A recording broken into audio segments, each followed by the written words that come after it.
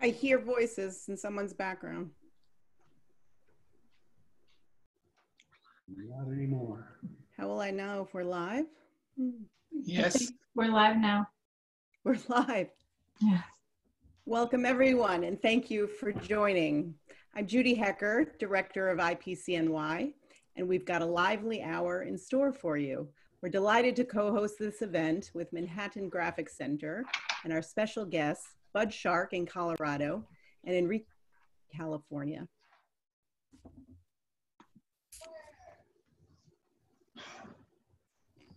Enrique's work is currently part of IPCNY's online exhibition, Reprint Five Projects. A quick overview about tonight. Enrique and Bud will both make individual presentations followed by a moderated discussion.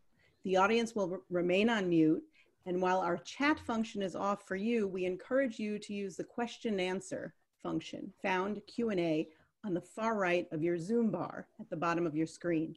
Send us questions throughout, and we'll address as many as we can at the end. Lastly, following the program, we'll send a very short survey. We'd love to hear your feedback and the kinds of events you'd like to see from us in the future. Now on to our four participants.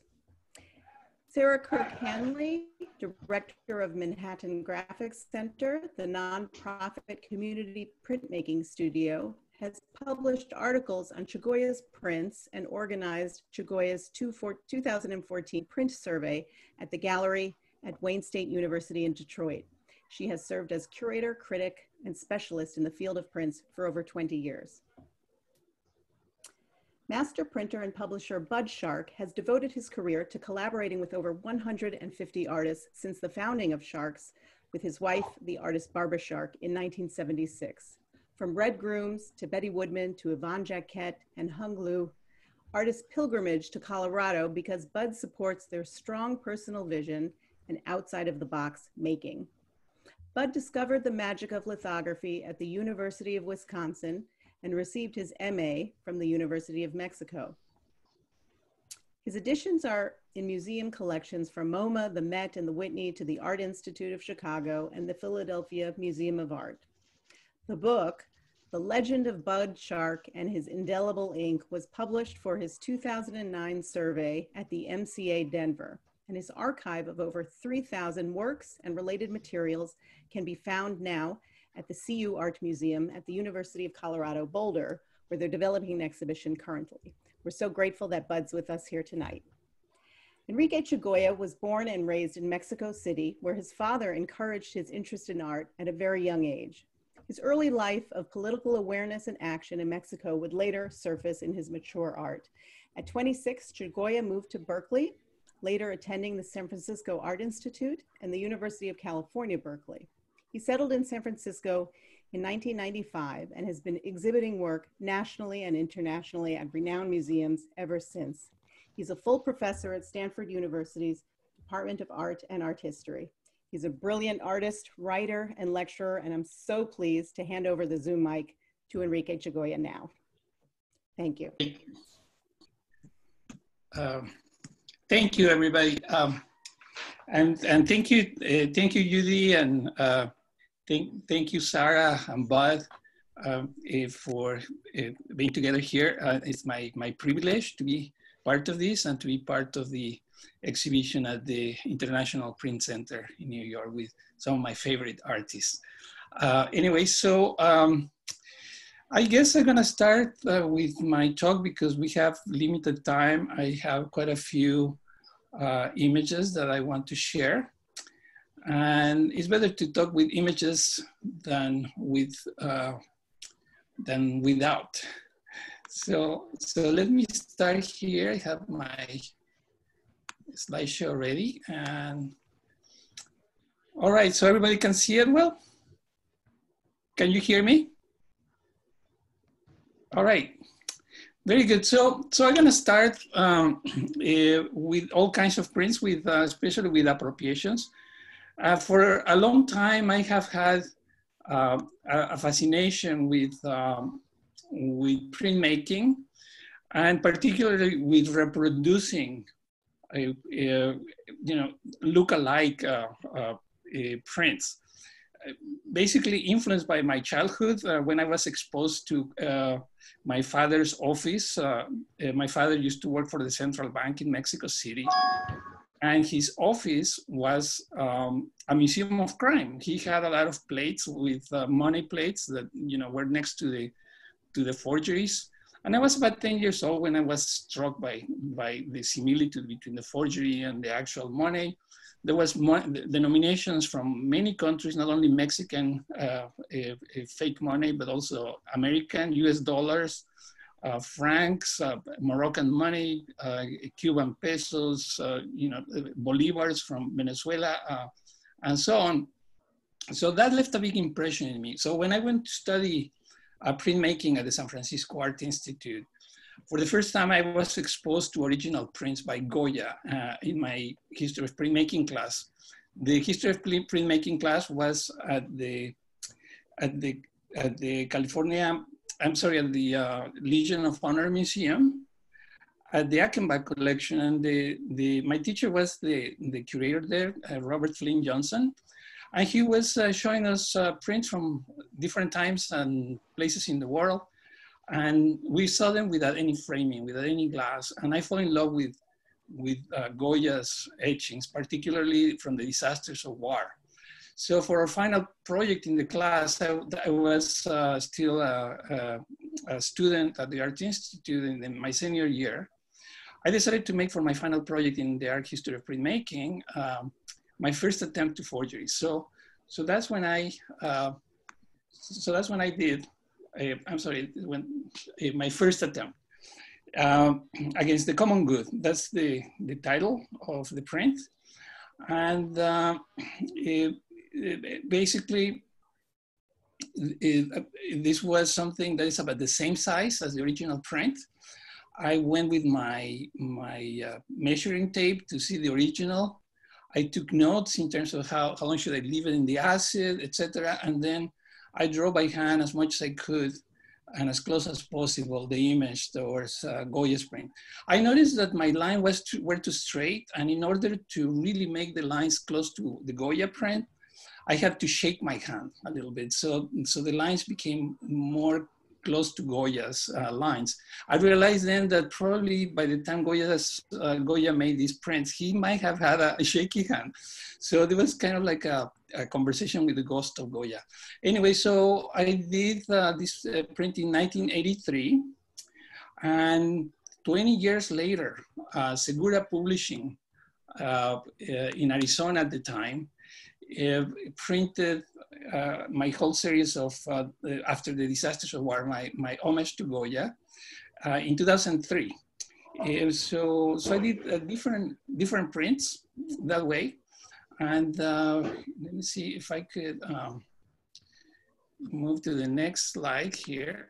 Uh, all right, so so I began to to do research on different um, uh, different sources, like in this case, uh, Walt Disney design of a gas mask for children, which uh, today, you know, could be very useful, especially for places like uh, Disney World that they should use this probably before they close the, the, the parks, but they might need them in the, in the, in the near future. So anyway, I decided to, to mix this with uh, other prints by Goya. By the way, these prints, I, I got them from uh, the Dover edition of the Disasters of War, which, which are fairly close to the original prints. And uh, so, um, so here I decided to mix the, the, the Mickey Mouse gas mask and also the idea that when you get into Disney World, it says, welcome to the happiest place on earth, mix it with the unhappiest uh, place on earth, which is uh, war. So I end up uh, doing my own my, own version of that. It's sort of like a, my yin and yang. Um, all of these etchings were done pretty much like uh, uh, trying to follow as much as possible the original. They are not photo etchings. They, they are, uh, I basically outline the, the image from the from a photocopy from the from the Dover book, and then the rest of the lines and the Mickey Mouse, I, I just uh, did a hand draw on directly on the plate that's pretty much how I done most of my prints after Goya. I have done uh, other series, uh, uh, including uh, in the Proverbios. It, and, and it says I'm live on Facebook, but and, and, and, and, and this, uh, I don't know. Facebook. and, it's on Facebook. I, I think. All right. Can you hear me again? Because we got to mix with the MGC stuff, uh, Mike. Uh, anyway, so um, so here um, uh, there's another series of uh, by Goya that are some of my favorite prints from the Caprichos. And, uh, you know, Goya made this uh, basically to, to critique uh, superstition in Spain. And I did uh, a, a, series of these prints. Uh, the, this, the second series of prints I did. The first one I did was, again, as I say, with Segura Publishing, with Joe Segura in Arizona. These ones I made them at, at ULAE uh, with Bill Goldstein. um, a, a, few years later. This was from 2012 to 2015. I did a couple of series uh, over there. Anyway, so I decided that, you know, the Goya's hat was too big for me. I, I don't pretend to, to, to compete with the, with the master, but, uh, but still, I wanted to, to keep playing the idea of uh, trying to make a forgery, you know, like what I got inspired by when I was a kid in my father's office, without being a forgery, of course, and getting away with it. Uh, so I did uh, several prints too uh, from these series. And one of my favorite prints from anywhere in all times is The Sleep of Reason Produces Monsters. In this case, Goya has sort of like a self-portrait surrounded by, by symbols of, of evil in the time. But for me, you know, the owl and, and even the bats and the cats are, are not symbols of evil for me, in spite of the bad, uh, recent bad rap. I think it's, a, it, it, I mean, it's very beneficial for agriculture. A lot of bats are endangered species in the US. They are dying from, from, from uh, you know, fungus infections and and the owl is an endangered species too. So so and, and cats, I have cats and I love cats. So I decided to to change that for actually scary things, you know, like military equipment. So so I have done a few few different versions of this. Um, the, uh, this was was done with Joe Segura as well in in Arizona back in 1999, and this one was done at United, I mean in, in ULAE and I added uh, my cat Lulu on the bottom with a little bit of uh, bat wings.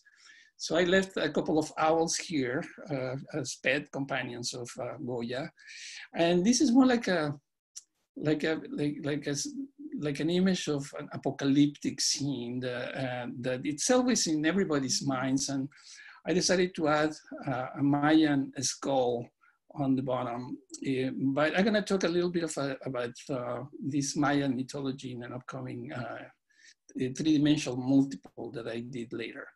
Anyway, so so I, am very happy we did uh, all these series. Uh, this is is racial stereotypes, getting rid of the, the racist characters here. These are like KKK chicken, featherless, getting kicked out of the door. Um, by a stereotype of a, a Mexican and African American. And uh, I have done uh, other prints in this case. Uh, this is um, a, a, print that we, we did uh, from ULAE as a benefit for the International Print Center in New York. And I believe this is still available. And uh, this one, in this case, we see President Obama surrounded by all these evil characters. It could be people from Goldman Sachs or Tea Party, you name it. Uh, could be anything. There was a big backlash I, I felt during Obama's times, uh, particularly with uh, white supremacist groups. So I decided to put a, a little KKK chicken uh, right on the bottom. It, this, uh, this is a leather press stamp on top of the, the etching plate. This was done in 2010. So I have done other images, like in this case, uh, I was invited by the Rosenbach uh, Library and Museum in Philadelphia to participate during the 2010 Philagrafika to make a project with them. So I went to research their print collection and I fell in love with a lot of prints by George Cruikshank, a British satirist from the 1700s. And uh, this was my, my favorite prints from those. And I decided to, to make my own version. So, so I did it, another uh, look-alike.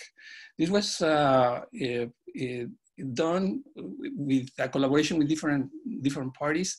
The, the digital files, the etching plate, a copper plate, uh, was done in Oakland at Magnolia Editions in collaboration with Don Farnsworth. And uh, what, we, what he did, he got the, the original uh, file uh, from, from the Rosenbach uh, got, uh, library, and he got rid of all the color, made it all black and white. And then I went back and did the hand color on top of it uh, on a clear piece of paper. And then uh, Don made a, a, file of the hand coloring I did. And then he printed the copper plate. And then on top of the, the printed uh, black and white print, he printed on a flat uh, digital printer, he printed all the color. So it looks like watercolor. Uh, unfortunately, uh, you know, the edition was going to be done in Philadelphia, and in Philadelphia, they could not replicate the process that we did in Oakland. So in Philadelphia, uh, the, the, the Rosenbach uh, Gallery uh, co commissioned the printing to a local artist, to Cindy Ettinger, Ettinger from the Ettinger Studios, and, and she didn't have access to a flat printer, so she couldn't do the colors. So she ended up doing a chine-collé in collaboration with Reed DeCoit uh, from the Fine, Fine Art uh, uh, Silicon Gallery Fine Art Prints uh, in Philadelphia. And finally, it was done. But it, it was a lot of work for a single print, but I'm very happy it turned out very nicely. And by the way, Don did later uh, just digital print, not copper plate uh, enlarged. And he found a way in which the etching lines uh, feel three-dimensional, as if you were touching an actual engraving, but it's a digital print altogether. So that that's uh, that was quite quite amazing. Anyways, uh, right at Magnolia, we have done other prints uh, like this one, the the one billion dollar bill. Uh, that, that was another kind of uh, idea of a forgery without being a forgery. Uh, working on money had inspired uh, us to do quite a few uh, projects. And this one, is, this one is called the Federal Economic Privilege Note. We changed all the writing. This is the Unequal States of America. And then you could see the, the, the size, uh, the, how many billionaires per, per capita are in the United States, 540 there might be a few more today. This, this was done a few years ago, and the percentage per capita. We put our signatures in the middle of the of the, the paper, and uh, George Washington as a Wall Street Wall Street magnate. So um, let me uh, keep going moving. Um, so this is the back of the this the same bill. So um, earlier we did a digital dollar, like, this one, that give us the actual number of the public debt. It's a computer that is connected to a satellite and has an instant, an instant update. I think, right, I mean, this was done in 2011 and it was updated about last year in two, $22 trillion today I, I, I, don't even want to see it, but it's probably uh, at least 30 trillion dollars. It's an unimaginable amount of work. And then on the upper right corner, you can see the share of the debt per person. Uh, this one we call it federal bailout note, the United States of America and modernization. Anyway, so uh, I have done quite a quite a few different works based on the economy, uh, but I did uh, other piece with another local publisher in, in San Francisco, Electric Works, with Noah Lang. And we did this one after the last uh, economic uh, downturn in 2008. And this was done in 2009, I believe. Or it, so, but I, I, can't believe this, uh, this became uh, very much relevant today, 10 years later uh, or, or 12 years later, sorry. Um, earlier we did another one, like this one, uh, uh, the, this uh, my appropriation of Andy Warhol. This, this was done in the year 2000, about 20 years ago. And all of these uh, cans have recipes for all these characters from the art world. And I'm sorry if I left anybody out, but I include artists, curators, historians, etc. And these are kind of like the recipes that you might be able to read in the back of the of the cans. Every every recipe is different. Um, anyway, so I'm gonna move on to my codices too and my interaction with pre-Columbian imagery. Uh, I study a little bit of anthropology and the history of the conquest of Mexico. And uh, it, it, I was struck by the, the not, not only the genocide, but by the cultural, by the cultural uh, uh, side that took place during the, the conquest. Here we see uh, a picture done by an anonymous Aztec indigenous artist uh, in which the, the Spanish uh, Franciscan priests and soldiers are executing uh, eight, uh, eight indigenous leaders who refused to become Christianized. Uh, but, you know, this was uh, not only the, the, the terrible consequences of the conquest, but also the burning of books here you could see another, probably the same artist, another uh, drawing by the same anonymous artist, with uh, the Franciscan priest burning the codices. You could see that in the lower right, a little character with sort of like an accordion. Those, are, those are representing the books. And, and the, the, the Franciscan uh, priests were thinking they were burning all these, uh, you know, demons and pagan words of, uh, of the time. Unfortunately, the biggest library in the continent, the Library of Texcoco, was burned with thousands of books. And the point is that there is not even a single Aztec book that survived the conquest. Uh, there are uh, three Mayan books that, that made it, books like this one. This is the Codex uh, Madrid, this is a, a really beautiful facsi facsimile that I found in the, in, in the Museum of El Prado. Uh, it, it's uh, very close to the original print of uh, the, the Codex Madrid. So it's one of the three Mayan books that survive in Europe, and there is potentially a fourth uh, Mayan book in Mexico City, fragments of a book. The Codex here, but there is the Codex uh, Paris and the Codex Dresden. Those are the other uh, Mayan, Mayan books that survive.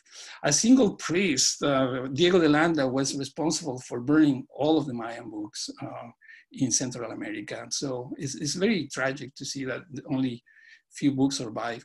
Well, from this perspective, I realized that uh, history is uh, written by the victors of war. And from that perspective, history is an ideological construction more than a science. So as an artist, I felt I have I, I felt entitled to do my own versions of, of, of uh, my own books, uh, basically trying to do look-alike uh, codices. So this was uh, the first codex I did. This is a print, this is a, a Xerox transfer a book. It's called Tales of the Conquest.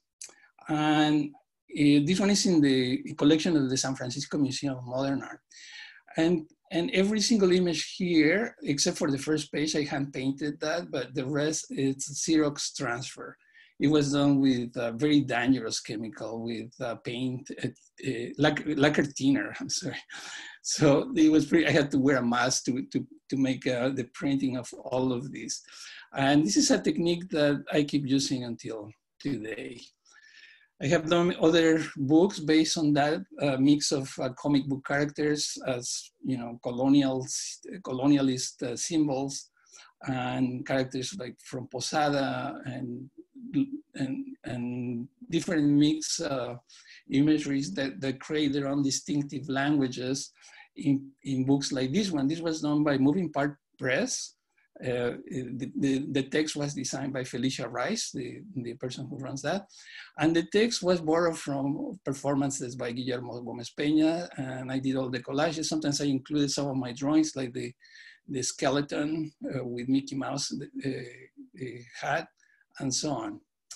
These are some of the close-ups. Uh, there's a constant uh, collision between the, the West and the non-Western uh, indigenous cultures going on uh, through the pages of this book. And this book uh, was an edition of 50, uh, and I hand color about six copies of them.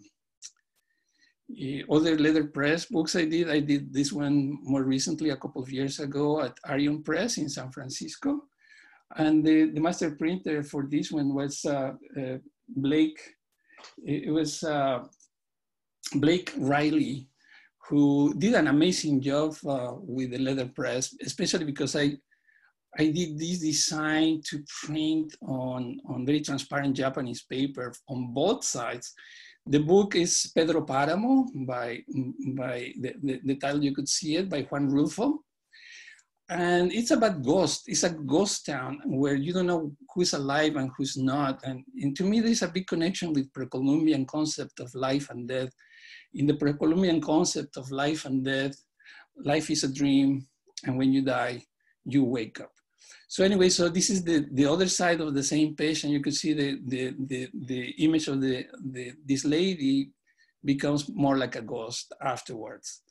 This one uh, is also the front. Um, and these are not necessarily illustrations for the novel. It's more like a collaboration because the novel doesn't need illustrations. But anyways, this is the back of the other page with a volcano. Uh, then the, this uh, another uh, father and son. These are based on some portraiture by Hermenegildo Bustos, a Mexican uh, self-taught painter. So I did a little bit of tribute of, of that. Painting people from around the same period of time as the novel that was written by Juan Rulfo. And this is the other side with a pre-Columbian uh, map with footprints and water. Anyway, so I've done uh, other books. This one, um, I was invited by the publisher of my prints in, in Palo Alto, Paula Kirkeby, to do a collaboration or, or a work on, on school books uh, in Israel for, for children, for elementary schools. So I decided to do a series of monoprints from lithographic, from lithographic uh, transfers. This one is based on, on a a censor book uh, from colonial times in Mexico, The Portentous Life of Death. And I did a collage between that and the Codex Dresden. The, the Codex Dresden is one of the three Mayan uh, codices that survive, that is in Germany. So here, for instance, on the left, you see the, the birth of death, which is with Adam and Eve, and, and so on. So the book was censored because according to the, the, the the, the, the, um, the, the Holy Inquisition, death cannot be alive. And it, it, it, was not correct to say that. Plus, also there had been censorship in, in, in New Mexico, in the New Spain uh, in, in colonial times since uh, the early 1500s, in 1531, all novels, uh, books of you know fiction were forbidden because the, the, the viceroy in, in Mexico say that the new Christians, this is quote unquote, new Christians couldn't tell the difference between fiction and non-fiction. So anyway, uh, I have an Aztec sculpture here in front of uh, little Lulu speaking in Spanish. She's asking, will something important is happening now? And so on. I really love this book. Uh, most of the edition was destroyed. I believe there is a copy of the Portentous Life of Death in the public library in New York City. So anyway, so I, I really love it. Uh, these uh, engravings were, and the book was done by a Fray Joaquin Bolaños. It's a pretty boring book uh, in terms of, of the content, but the uh, 17 engravings were, were done by this artist, Francisco Aguilera Bustamante, who is a predecessor of Francisco Goya. This was done in the late 1700s, in, in 1792, I believe. Anyway, so uh, talking about the Mayan uh, mythology, I, I made this uh, sculpture. It was an edition of uh, 10, I believe. And also this was in collaboration with Noah Lang at Electric Works. And this was about the end of the world in the Mayan mythology, which was supposed to happen in 2012. I think they, they missed the, the date for a few years. the weirdest thing to me is to see this, this work today and realize that I actually put a bat as the main character of the, the, the whole uh, piece. This one is called Super Bato Saves the World, and it's from, uh, I believe, from 2011. a year before the, the, the supposed uh, end, of, end of the world in the Mayan calendar. By the way, the end of the world in the Mayan calendar doesn't mean necessarily the end of the world, but the end of, of an era and the beginning of another era. So it's not totally a total destruction of the world. And the symbolism of the bat, the, the bat in the Mayan culture uh, means the guardian of the underworld. And it could be a good or a bad god. Uh, so there's a thin line, but they respected the bat as a powerful god. And to me, this, today it gives me uh, uh, like, like an idea that we, we are getting a message from nature um, to try to have a better balance between nature and ourselves. Be, be, because so many viruses have come from animals, from uh, not only the bat or, or monkeys, but also other viruses have come from the Amazons, like the, the Zika virus uh, not long ago that apparently came out of the deforestation of the Amazon. So to me, this is more like uh, at the end about gambling with our own uh, future. And but hopefully, if we listen to the messages sometimes sent by a bat, hopefully we still have a chance to survive. Um, this is uh, a close-up of, of the, the piece. I have used that uh, art jargon in different books, including some books I did with Bud Shark. Anyway, so I'm gonna move on um, uh, to this uh, book, The Misadventures of the Romantic Cannibals, that uh, gave me quite a bit of trouble. This was part of uh, Bud Shark's uh, Uh, uh, celebration of the indelible uh, ink that was open at the Denver Contemporary Museum of Denver, or the Museum of Contemporary in Denver. And there was no problem there. That was in 2009. A year later, the same book uh, traveled to Loveland in Colorado. And at the time, that in 2010, there was a year of elections and the Tea Party was very active. And they discovered my book in this exhibition of Bud at the Loveland Museum. And this uh, particular page here is what uh, gave almost a heart attack to a lot of very extremist uh, religious uh, people. And um,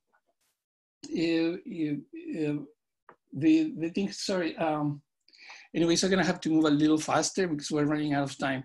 Anyway, so uh, unfortunately, this uh, page was picked by a group of people that uh, boycotted the, the, exhibition, but even though the exhibition was had nothing political, people got really upset. Somebody moved all the way or, or drove all the way from Montana to Colorado and destroyed the print. Uh, uh, she came through she came, she, she her 18 wheeler, got into the gallery, broke the glass of the, the, the frame and destroyed the book. And I guess, I'm sorry, nobody told this person, this, this was a multiple original. It was, there are many, there were uh, at least uh, 39 other copies. Uh, the edition is 30 plus 10.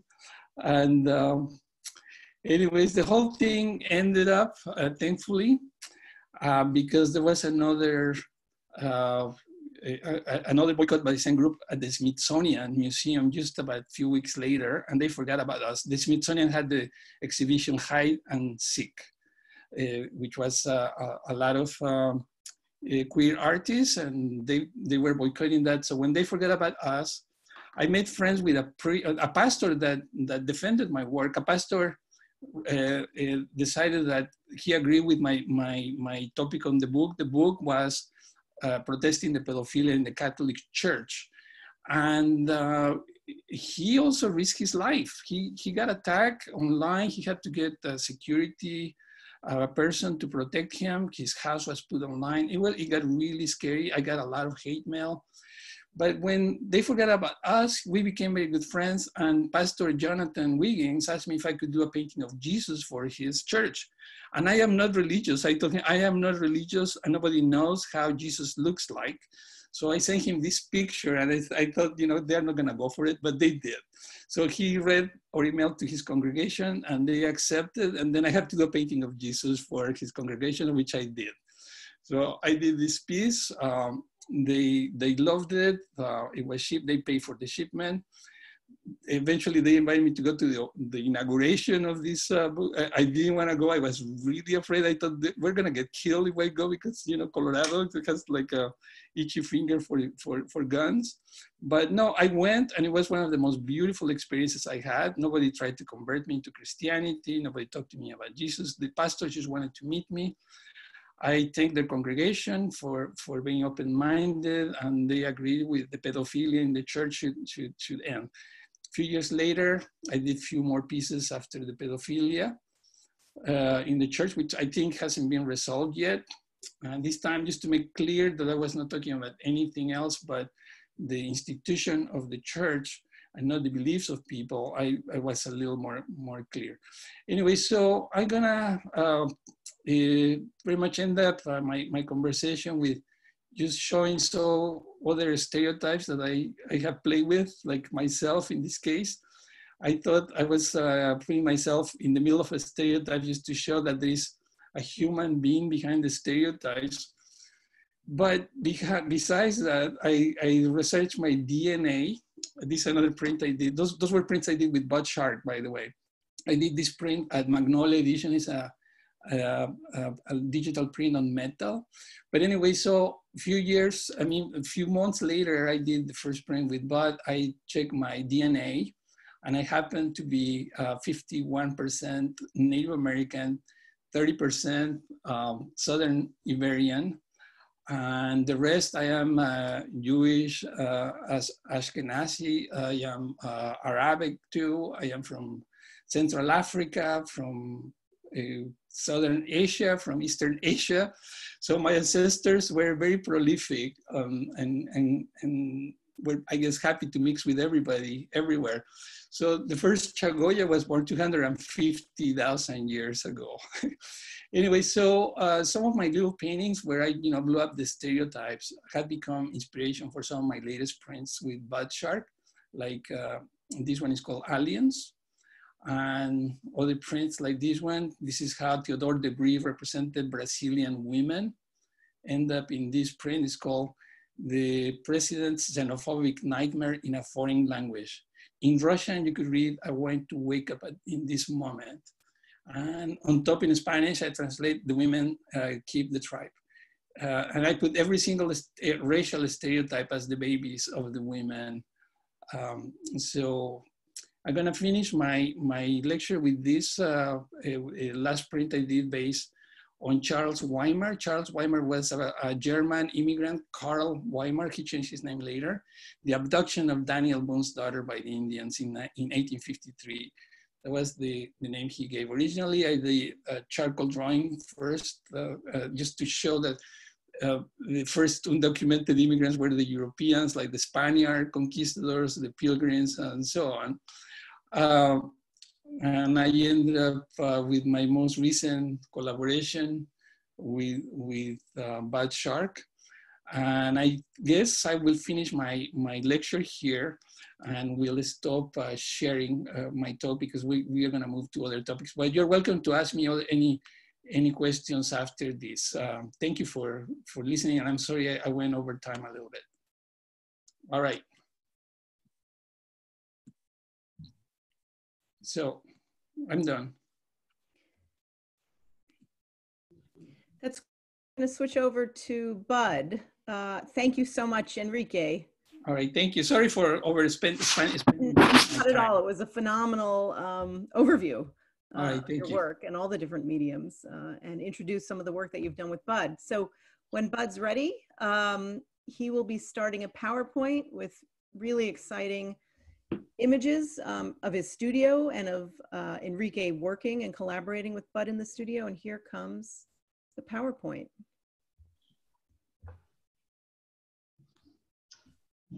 Hi, uh, it's a pleasure to be here and always great to hear Enrique talk about his work. And I've uh, worked with Enrique for uh, 22 years, and in that 22 years, we've done 26 uh, different lithographic uh, projects. Uh,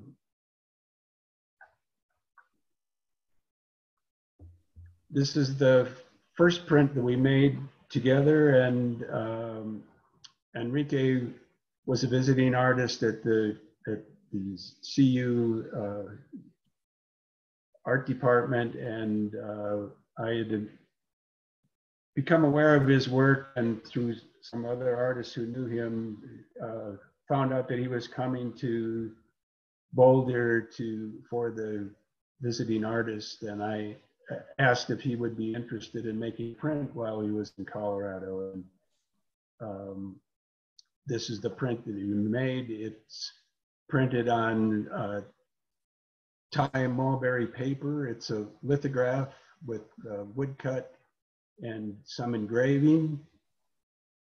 Uh, this is a close-up. You can see uh, in this image uh, some of the wood grain and and in the fine line drawings that are in this image are were done as an engraving on a, a lithoplate, which is rather unusual, and but uh, worked very well for this. This was printed on the back side. You can see the red on this image uh, was printed on the back side and uh, Enrique had been doing a lot of work on uh, mate paper and painting on both sides, and that's we decided to do this print um, with a semi-transparent paper to, to uh, see the image. Uh, this is Enrique working in our studio uh, for one of the uh, codexes that we were doing after making that print, I'd been aware of some of Enrique's uh, uh, codexes that are made on amate paper and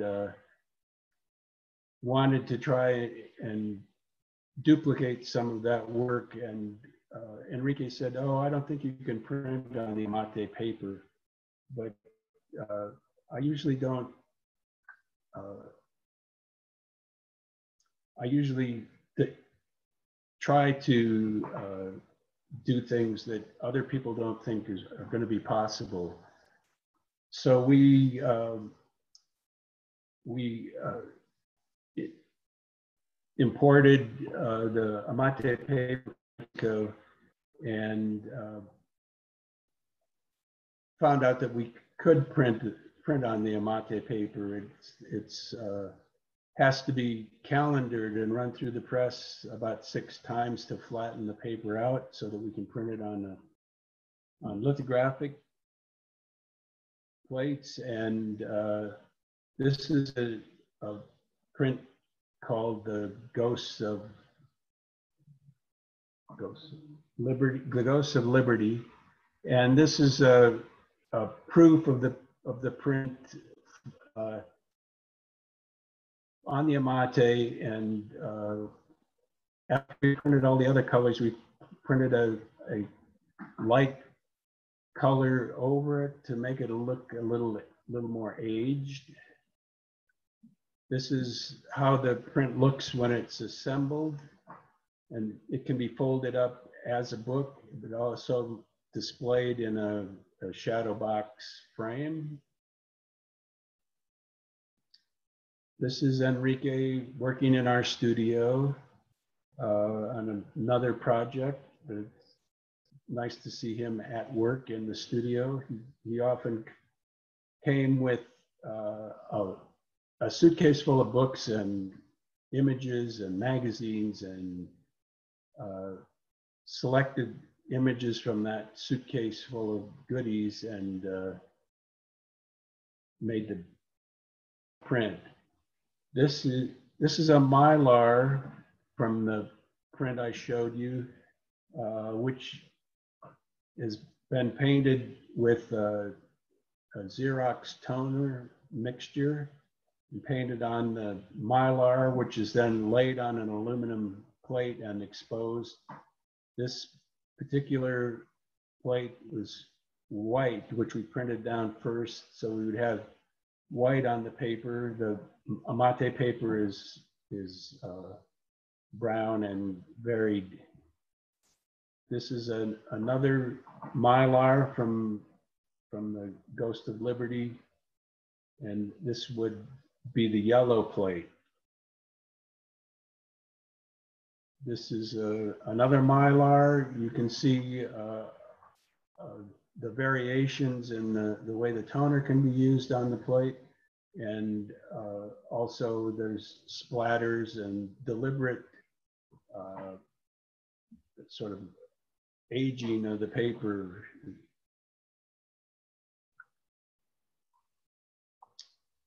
This, this is the red plate. In this, up, up in the left corner, you can see there's an ellipse and uh, the, the Mylars are canceled after we've made the plates and uh, to sh show that we won't make any further addition prints of this image. This is a, another Mylar with a lot of washes on it to give tonality and make, make the book look aged. This is the key plate, which is made by uh, Xeroxes that were then uh,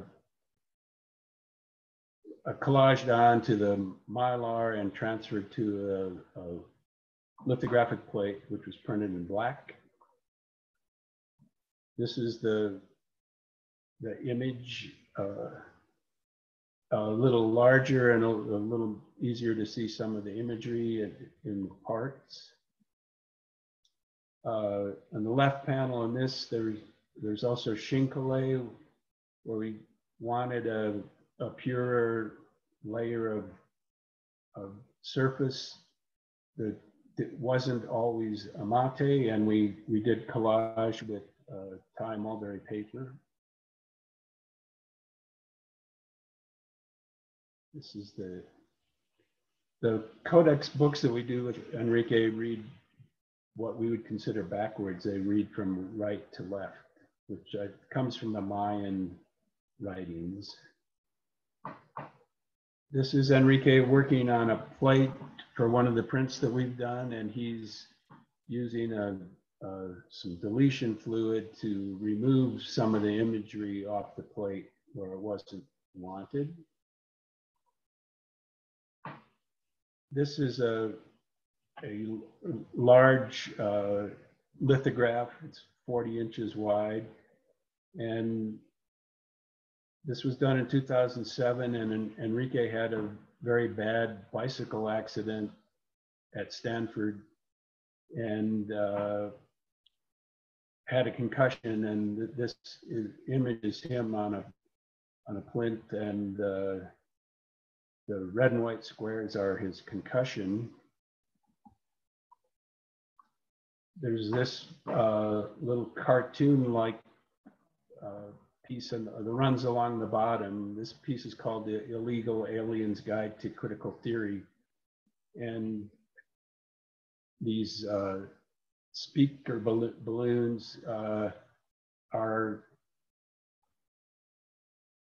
are, are came from book that we found and have used a lot called Art Criticism 101 and are really rather unreadable.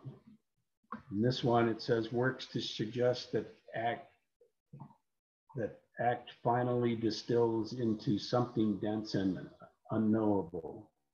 And then this is Enrique on his bike, and Batman and Robin are coming to his rescue.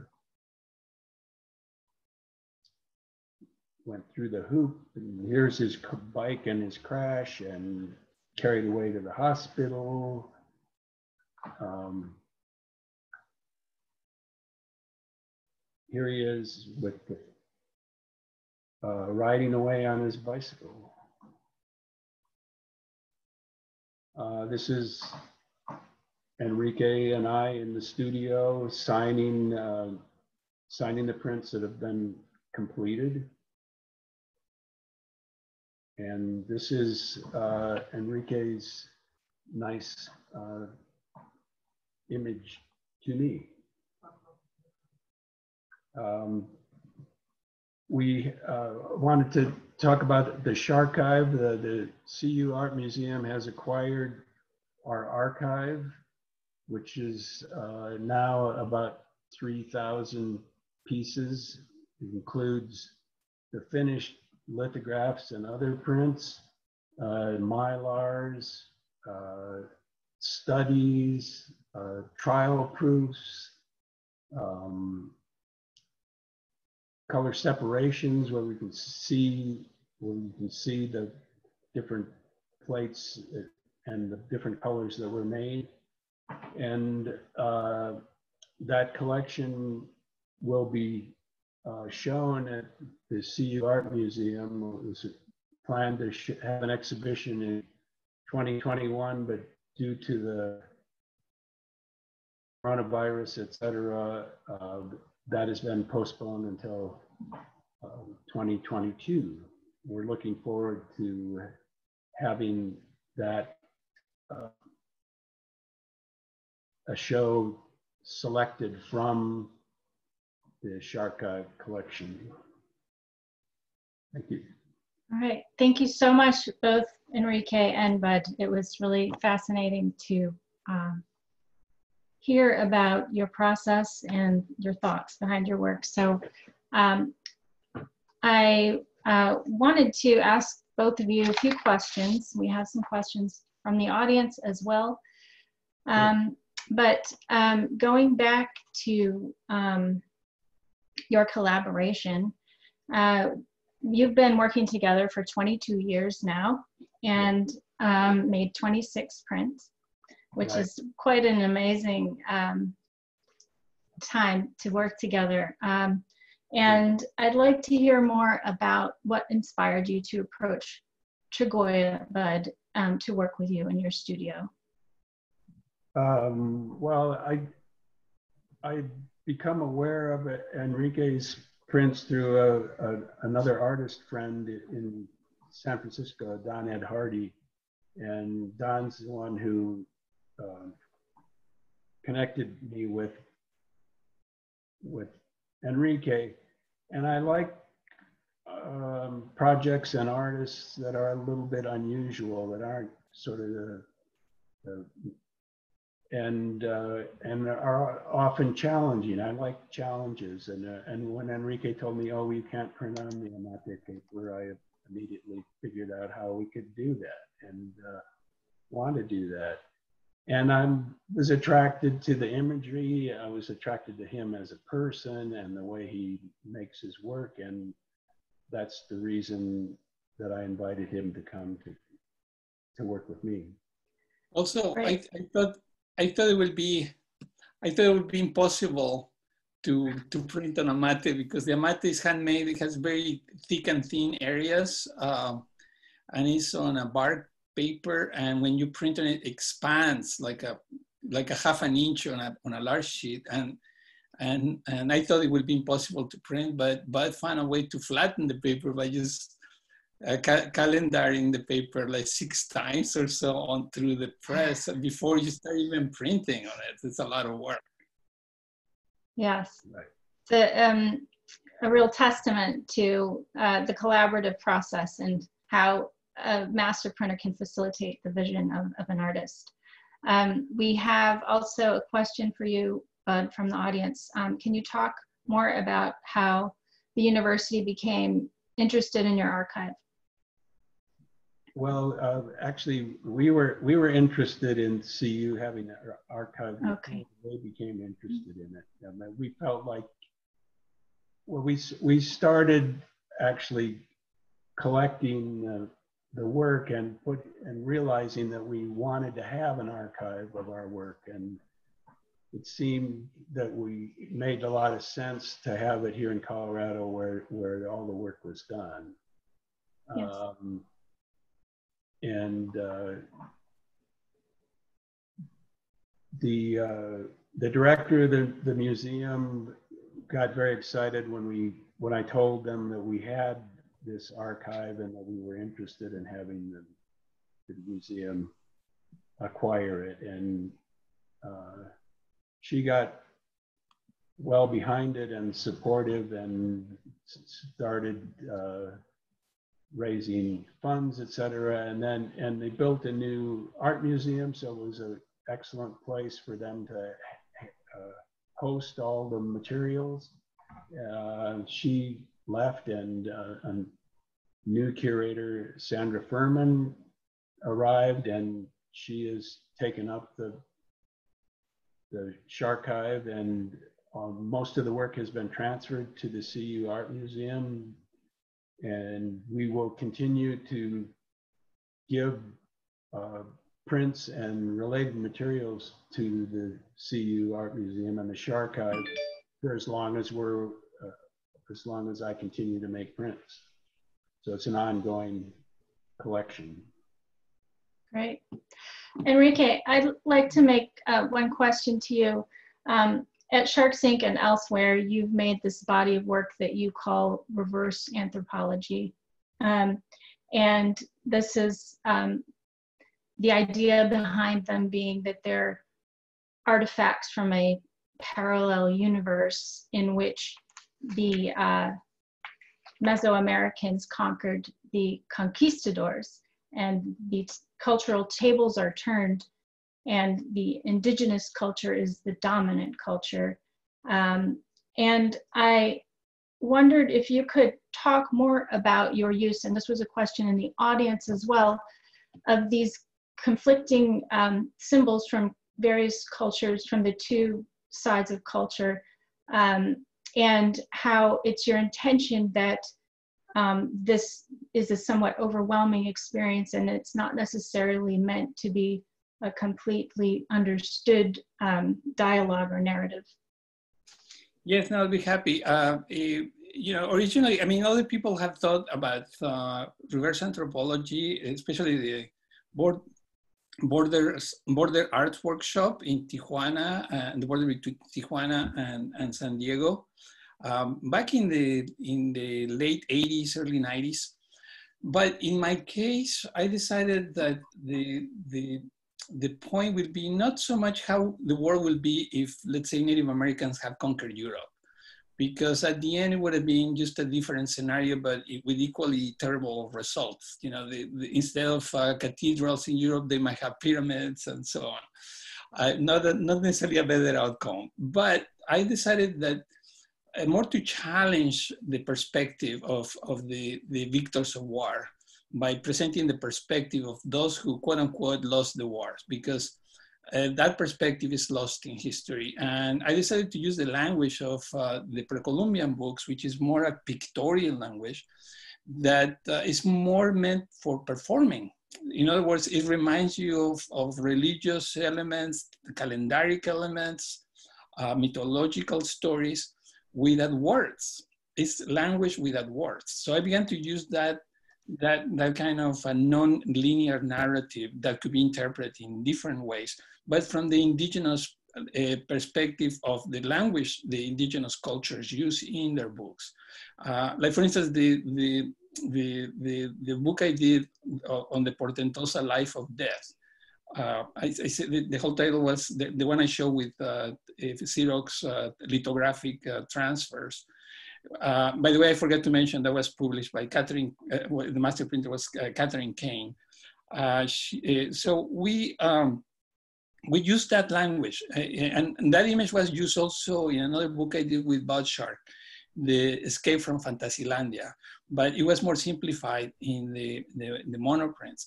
So that uh, kind of non-phonetic language is what that dictates uh, most of my books. And and sometimes people get a little confused because they don't know what to read and but that's just because some of the symbology is lost in history a lot of the symbology is pre-columbian and uh, you know uh, anthropologists are uh, working really hard to decipher especially the mayan writing which is thankfully one of the, the ones that survived the most but still uh, I tried to do a contemporary twist. Originally, I was focusing on the U.S.-Mexican uh, clash of cultures, but after I lived for a period in Europe, uh, a couple of times in France, I, I decided that the, the problem is more global. Everything's globalized. And I still use the pre-Columbian idea of visual languages with, with uh, pictograms talking to each other, creating a multiple narrative, even though I open the context to more of contemporary time. So I hope I answered the question. And hopefully with some sense Yes. of humor too. yes, get- there's a question about humor. You're anticipating where I'm going next. Um, so Yeah. you do, I know you prioritize humor in your work, and it's, it's always important to you.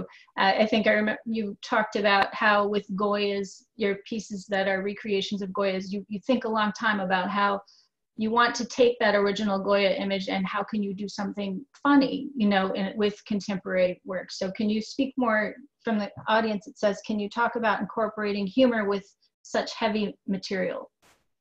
Uh, yes, for me, um, eh, humor is a defense against very painful situations. And in Mexico, I grew up with that sense of humor. Uh, in general, the culture in Mexico finds a way to laugh about very dead, dead, deadly scenarios. And maybe it's perhaps I, I mentioned a little bit the idea behind the concept of life and death in pre-Columbian times. And it's not that Mexicans laugh at death. It's not about Day of the Dead.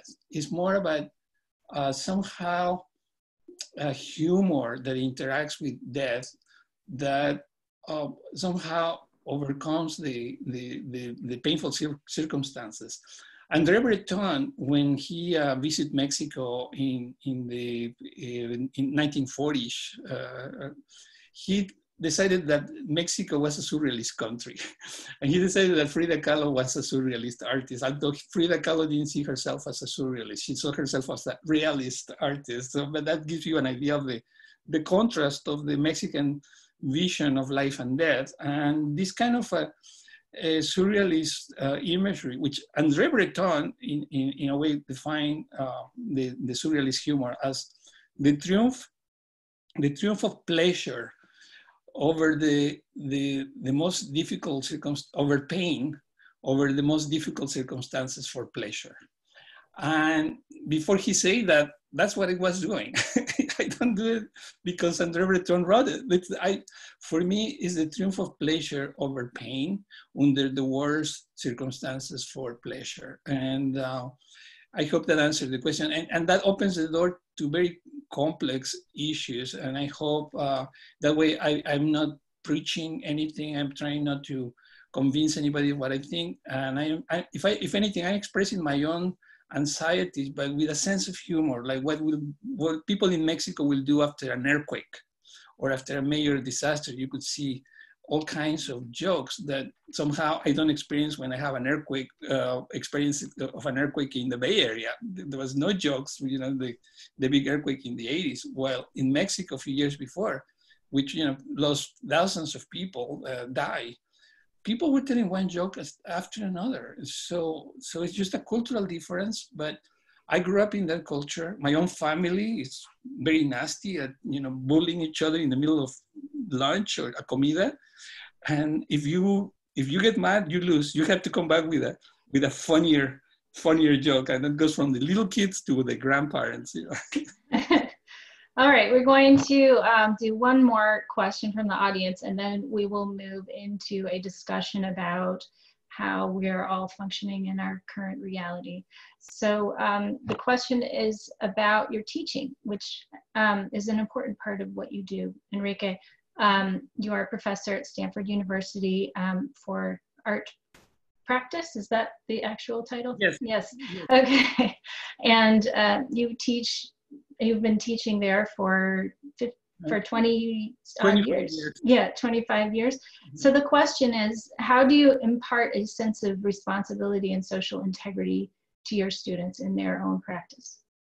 Well, I try to inspire whatever the students had in mind. I, I, I, I don't try to um, talk about my own artwork with them I, unless they are curious and they want to know.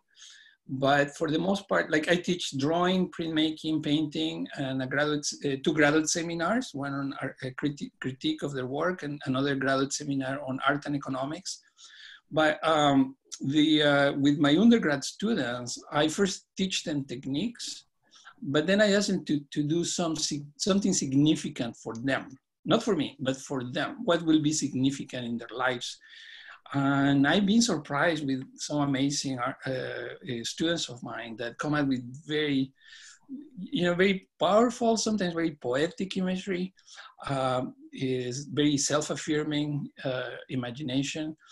And uh, for me, it's just a dialogue. I, I don't feel like I'm uh, uh, teaching art per se. I'm just encouraging art, but I, I don't think art cannot be teach art per se. I don't think anybody could really teach art, but you, you might inspire people to make art because there is no recipes for creativity. I wish there were recipes for creativity. Well, I just follow them or anybody follow them, but uh, it's, uh, it's part of the human complex uh, mind. Uh, when you invent and create something, uh, that didn't exist before. But my students, for the most part, I hope they find inspiration with uh, our group critiques and with, with an ongoing dynamic in the group.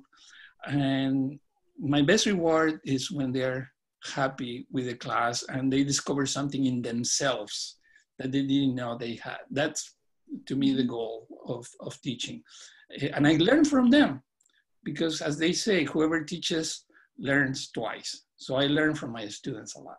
Yes.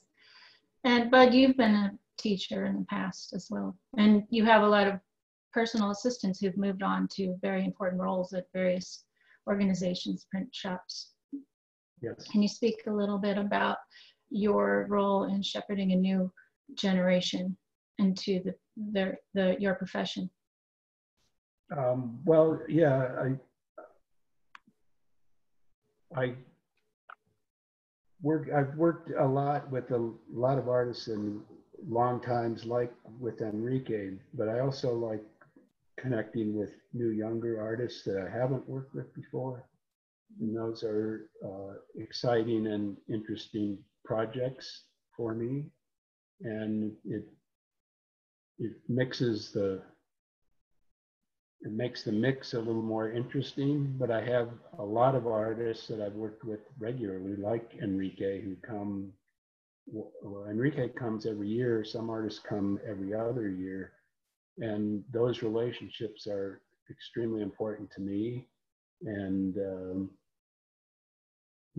we develop a body of work that's really interesting to see how the how the artist's work changes and uh, uh, artists who are in the studio and see what another artist did and say, "Oh, I want to do something like that," or "I want to use that process or something." It it makes it all uh, very interesting and sometimes very challenging, but I I like that part of it also. Great, thank you. Well, Judy, um, could you come back and uh, join us to talk about the future and our current reality? Okay. I think I'm back. Um, we wanted to take a couple of minutes for those of you who can stick around um, just to talk about how we're all adapting professionally uh, during the pandemic. Um, I know that Bud was supposed to participate in the IFPDA print fair at the end of October at the Javits Center. The Javits Center had was turned into a hospital. That was canceled, which is a major um, hit to the print world. However, IFP, IFPDA mobilized, and this week is opening up um, an online print fair this week that will last a month, and it's live through Artsy. And Bud has a full um, viewing room along with all of the members, and including members who couldn't um, physically exhibit um, in the fair in past years. So, so that's a kind of positive. Um, Enrique, we can talk about um, the very moving uh, writing uh, that you did for the Shelter in Place Chronicles um, for SquareCylinder.com. Uh, I know Manhattan Graphic Center is greatly accelerating their online programs. And at IPCNY, we're doing the same thing um, in many realms. And I wanted to just take two minutes to show you um, through Jen Bradovich, IPCNY's exhibition and curatorial manager. If she can join us, she'll show you uh, the website that uh, she created from scratch uh, as our spring show, including Enrique's work was uh, canceled due to the closing of the gallery. Jen. Hi, everybody. Thanks, Judy. Um, I uh, when when COVID forced us to close our gallery, it was right before the works for our show reprint five projects um, were meant to arrive in the space. So we had to to quickly figure out a way to bring um, the show to you digitally online. And what we really wanted to do was create something that wasn't super static, but would be dynamic and give people an opportunity to see works um, up close and to spend time uh, navigating intuitively and um, experiencing more information along the way um, as they wanted. Um, so I'm just going to very quickly show you um, what the website looks like. And um, demo its features using um, Enrique's page, which features uh, one of the um, one of the codices that he's printed with Bud. So this is Return of the Macrobiotic Cannibal from 1998. And like the other codices we've looked at tonight, it's also on Amate and it's read from the right over here to the left. I'm going to show you details further down. And on each page for the site, um, which is organized by artists, you'll see these texts about the work, and then you'll also see these opportunities to hear these um, really nice audio clips from Jennifer Farrell, who's associate curator in um, drawings and prints at the Met. Um, in case you want more information, they really add uh, another level of engagement.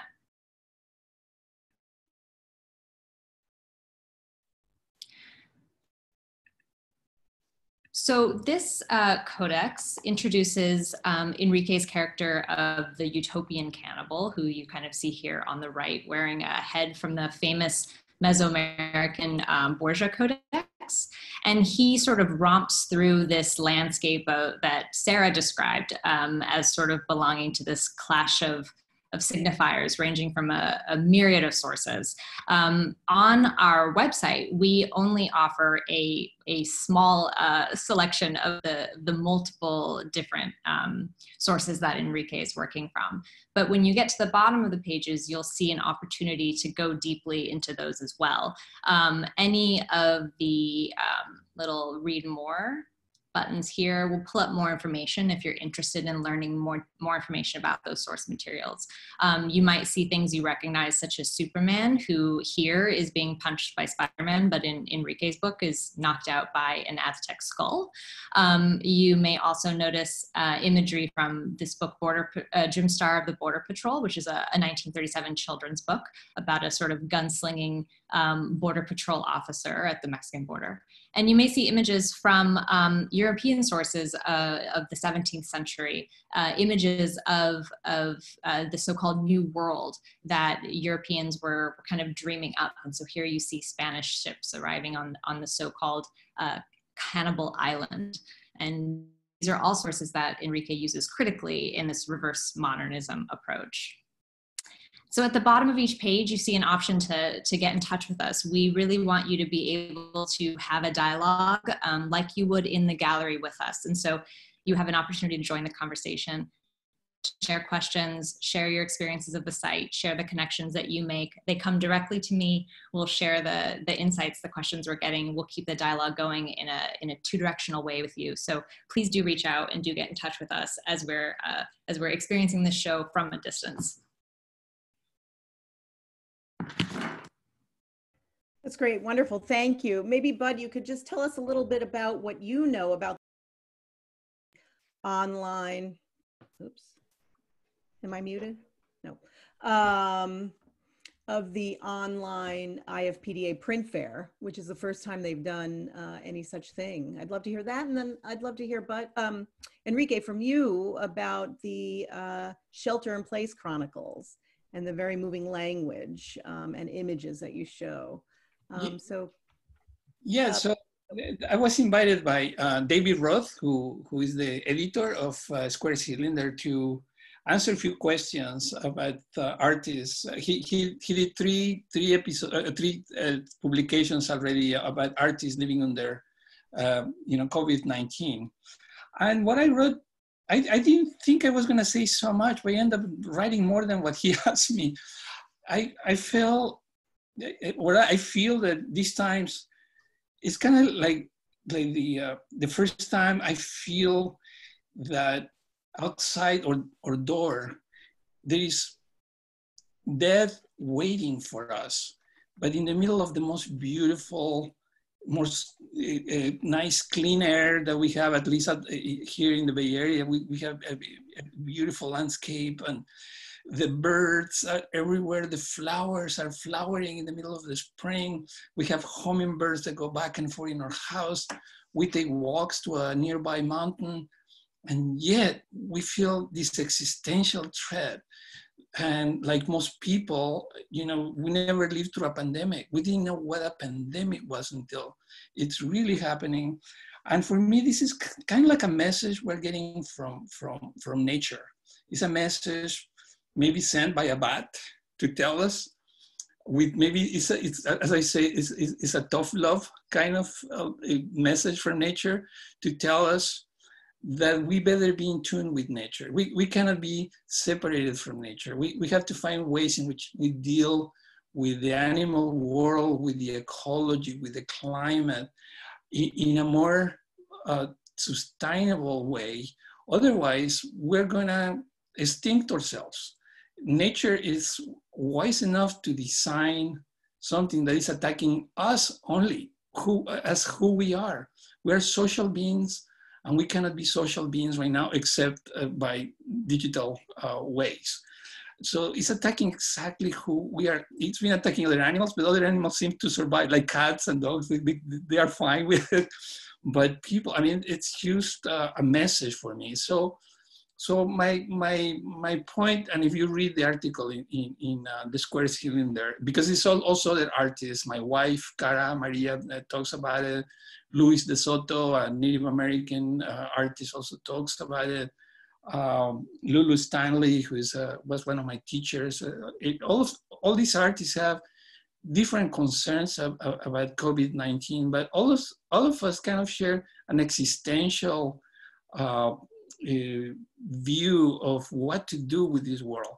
Goes beyond any art we could make the economy, on the other hand, is in a very unbalanced. Uh, we see Wall Street going up since uh, the government began to buy corporate bonds. Wall Street seems so happy with the bailout.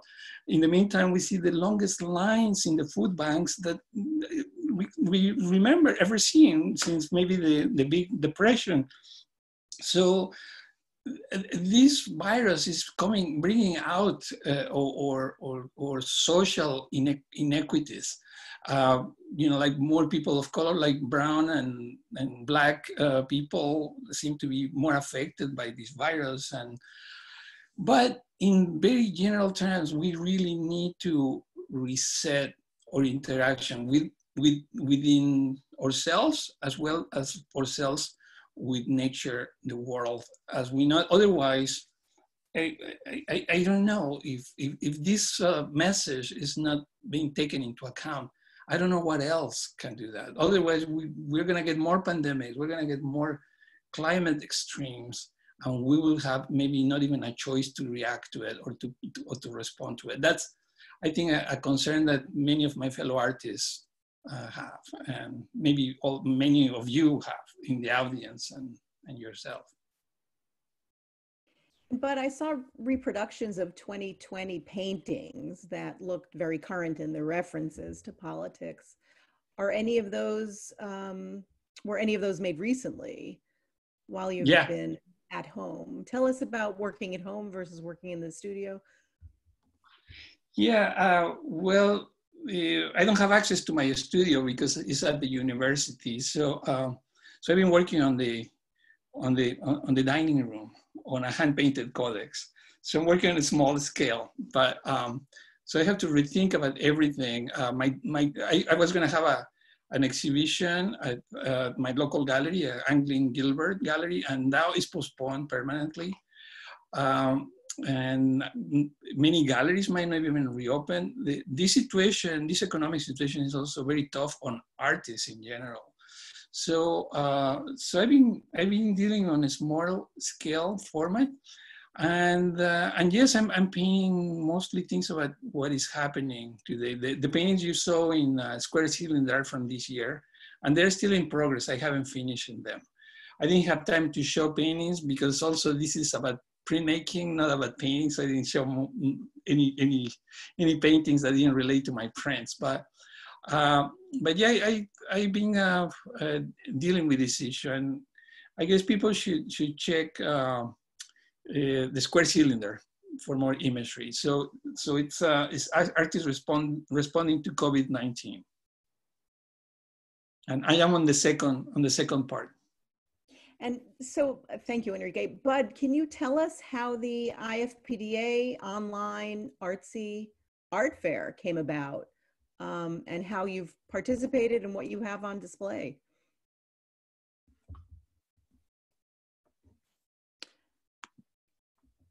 Bud, you you need to unmute yourself. I think we lost Sarah. Sarah's computer crashed, but she's rebooting. Okay. okay, Bud, you're with us. Great. Yeah, well, I'm I'm quite impressed with how the how the IFPDA has has uh, uh, dealt uh, dealt with uh, COVID and uh, and I think their online exhibition is very good.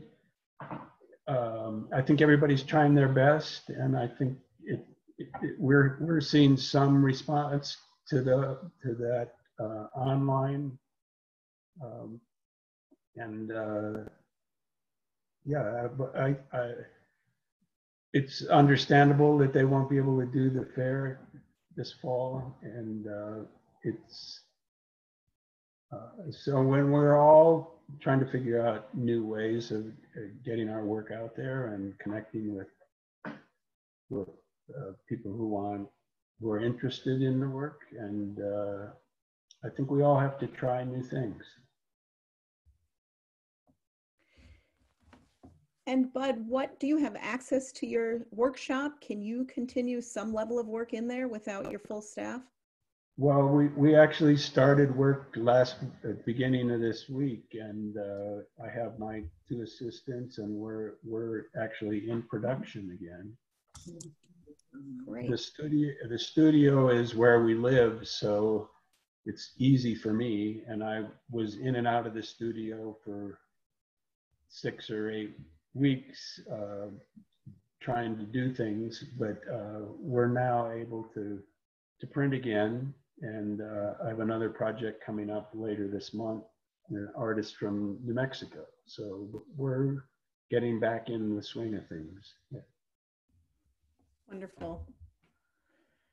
There are many more questions, but we're nearing an hour and a half point. We could go on for a long time, but uh, there are a lot of comments that we'll share with both Enrique and Bud, and there are questions that we'll answer um, online before we completely end um, this broadcast session. Unfortunately, Sarah's computer crashed and she's been trying to reboot and she was going to do the thank you and, and the sign off. So I'm going to do it on her behalf and uh, thank the teams at um, Manhattan Graphics Center and IPCNY for pulling this together very quickly. This is both of our firsts um, in terms of live webinars, but not our last.